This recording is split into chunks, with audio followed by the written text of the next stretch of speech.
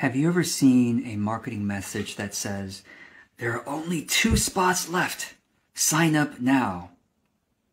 When I see those messages, and I've seen that, I've been in marketing full time for 13 years, helping, you know, coaches and other solopreneurs. When I see that kind of message, I, I ask myself, how many people are getting that message? If you have two spots left and it's being sent out to hundreds of people or thousands of people, how are all the other people supposed to feel who can't get your two spots?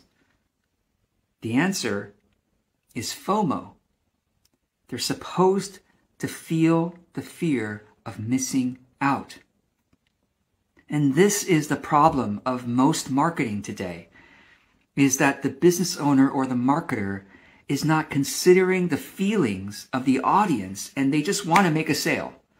This has been the problem of marketing all along. This is why most of us dislike marketing because we feel like we have to do stuff that doesn't make us feel good, let alone the audience we're going to do this to. So that's why we recoil at the need to do marketing. It doesn't have to be that way. Now, I, I, think of this analogy that a lot of people like when I talk about this. It's like cooking popcorn. Okay. So when you cook popcorn, you turn on the heat and you have to wait a little while and then the kernels start to pop.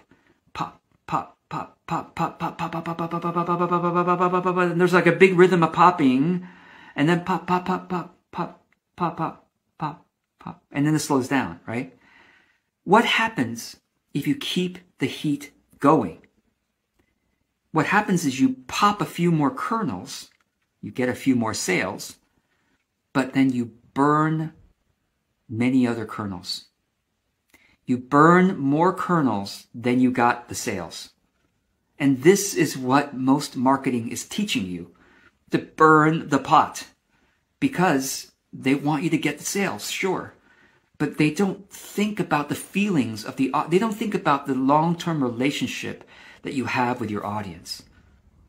This is why I think it's dangerous to listen to most marketing advice because they're using things like sales funnels and artificial stuff like that. That's very contrived and forced, not authentic and not human, right? Not, not friendly, like, like you're making a new friend, but it's more manipulative.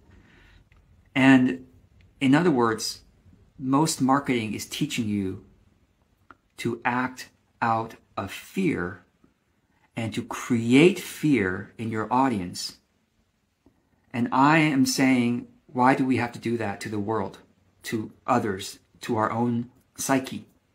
Instead, we can market from love. Imagine that. An overabundance of joy that pours forth about our product or service or our message and a genuine sense of caring and compassion and concern for the audience and sensitivity to how they are receiving these messages. And when we have that overabundance of love come out and that is our marketing, it feels so different. And the audience pays attention and says, Oh, I want to be in this person's presence more. And this is essentially what I've been experimenting with and trying because I used to when I first started marketing I I learned from the big boys they're usually boys you know big um, now nowadays I would say toxic masculinity type of boys loud and you know high heat marketing that burns the pot I did that for the first couple years and sure, it makes money in the short term, but it doesn't build an audience for the long term. And marketing always kept being hard for me, difficult for me, because I always had to keep persuading, persuading, persuading, making them do this, making them do that. and one day I said, I can't do this anymore. So I stopped it all and I started over in 2014. Excuse me.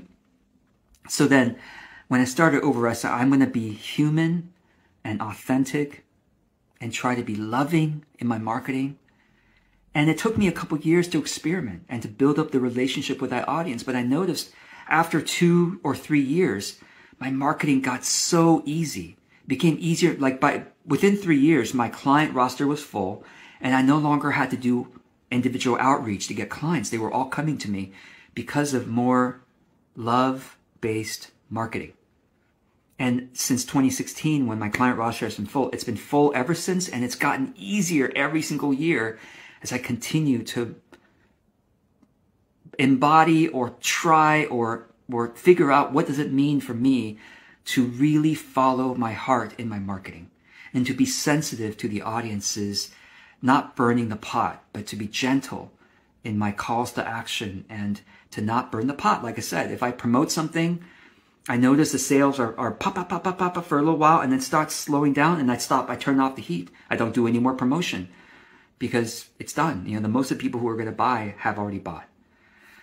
So I guess that's all I want to say in this video is that be careful of burning the pot in your marketing, doing too much promotion, and be careful of marketing trainings and marketing actions that are led by fear and instead see what it means to you to market from a place of love and trust in a long-term relationship with your audience.